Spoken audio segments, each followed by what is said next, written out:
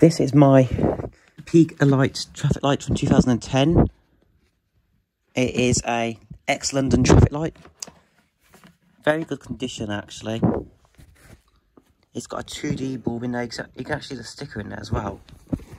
And it's got a Preet bulb in there, believe it or not. It's got a um, 2D, 2D, ever ready, 16 watt fluorescent mercury, zero, zero mercury light bulb in it. However, though, I believe that's a lie because it still needs a fluorescent tube still needs mercury to run, and the mercury inside these is is not enough to kill you. It's not enough to it's not enough to hurt you or anything. But yeah. And um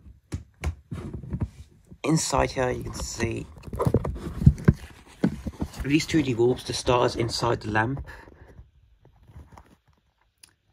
Um, there's all the wiring and stuff. And I believe they're self-ballasted lamps as well. But I used to have a G in here, but it, it the GE I've preserved because I don't want to burn the GE. I'd rather burn a modern bulb instead. So that's actually something I was looking for. Actually, that's for my future on FinePix XP130. So I'll keep that around. But it also has an exit sign as well, which is LED, which is DEL or LED. And the only thing about this is the plug needs to be refitted on it because there is actually exposed wiring on this plug. I'll show you where I'll show you where it is. And that's for the Siemens.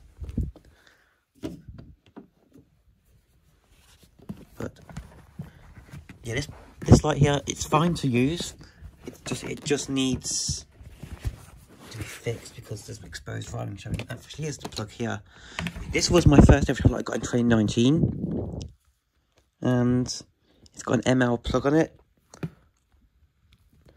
I found out that Kai actually sold me that one, but um, as you can see here, the wire sheave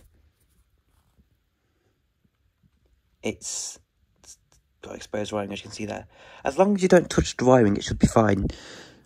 I'm not touching the wiring bits, so it's fine to use.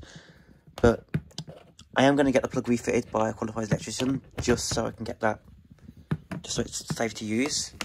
But yeah, watch the bulb start up. It's actually quite blink happy. Not as blink happy as the GE that was in here, but it is a nice, it has got a nice preheat glow to it. Let's turn it on.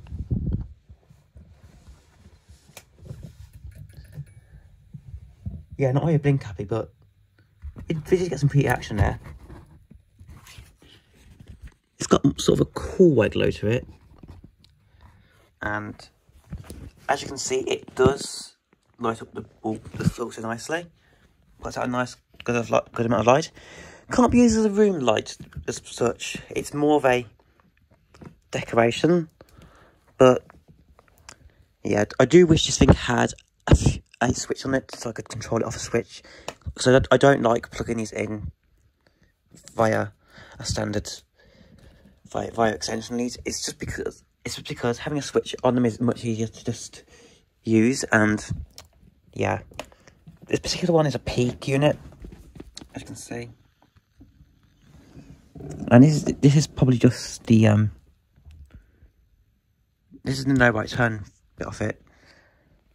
And I can't actually figure out this is mounted on on on, on traffic light because um, it's not got um, any screw holes for where the bracket was attached. So it must have been attached to the bottom of the, of the light. And the reason there's tape on there is just to protect me from touching the wiring down there.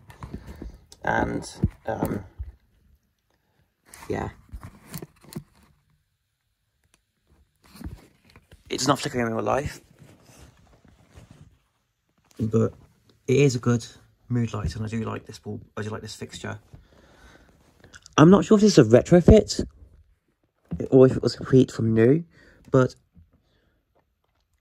um, yeah, it is nice to have this fixture in my collection and I'm going to plug it now.